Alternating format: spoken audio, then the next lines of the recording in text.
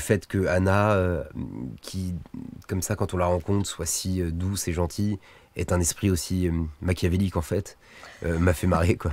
Voilà. C'est l'histoire d'une jeune fille qui va s'installer à la campagne, un peu, car on a un peu marre de Paris, et qui va se retrouver dans une maison un peu bizarre, où elle va commencer à entendre des bruits, des choses. Et je vous en dis pas plus, sinon ça n'a pas d'intérêt. Alors je joue le personnage de Noah. Je suis donc l'amoureux d'Agathe, joué par Anna Girardot. On s'installe dans cette maison de campagne.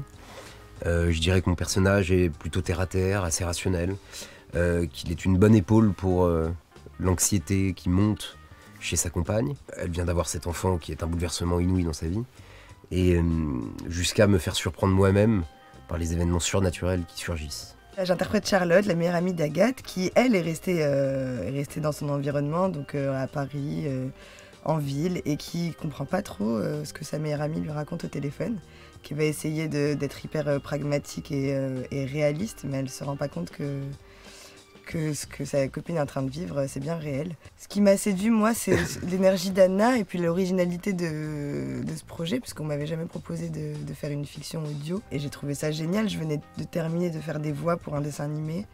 Et ça m'avait enchanté et de le faire pour euh, juste pour l'écouter. Je me disais, euh, ça, peut être, ça peut être bien et ça l'a été. Effectivement, le désir d'Anna était assez irrésistible. Et puis. Et puis le fait que Anna, euh, qui, comme ça, quand on la rencontre, soit si euh, douce et gentille, est un esprit aussi euh, machiavélique en fait, m'a fait marrer quoi. On est plus libre parce qu'on n'a pas une heure de maquillage, coiffure, un costume, on arrive comme on est. Et on plonge, on plonge complètement dans un univers imaginaire, donc dans nos têtes et dans celle d'Anna qui nous guide évidemment. Et moi, ça m'a, ça m'a plu justement de me dire je suis libre de tout, il n'y a pas d'image, euh, je peux faire les mouvements que je veux, je suis pas bloqué par euh, un axe de caméra ou, euh, une lumière ou quelque chose comme ça. Là, c'est vraiment la voix, on est concentré sur notre voix, donc c'est très intérieur. Et donc il y, a, comme plus de jeu, j'ai envie de dire. Ça donne une liberté et puis il y a une forme de, une autre forme de rigueur. qui est dans l'intonation, qui est dans le. Les voix mentent, mentent jamais en fait. Donc, je trouve qu'il y a une forme de rigueur dans l'interprétation. Et Anna a toujours su, euh, avec beaucoup d'affection, nous, mettre dans la voix de nos personnages. J'ai l'impression que les acteurs, on a souvent des, béquilles, par exemple, des, choses qu'on sait faire avec l'image. Euh, là, on est, euh, on est juste notre voix, il y a une, présence vocale, sonore. on, a moins de, on a moins de béquilles, on doit être très juste, je trouve. D'ailleurs, je sais que des réalisateurs comme Albert Serra ou Desplechin parfois dirigent des scènes juste à l'écoute. Et, ça, fait tout son sens quand on, quand on voit le projet d'Anna, par exemple, je trouve.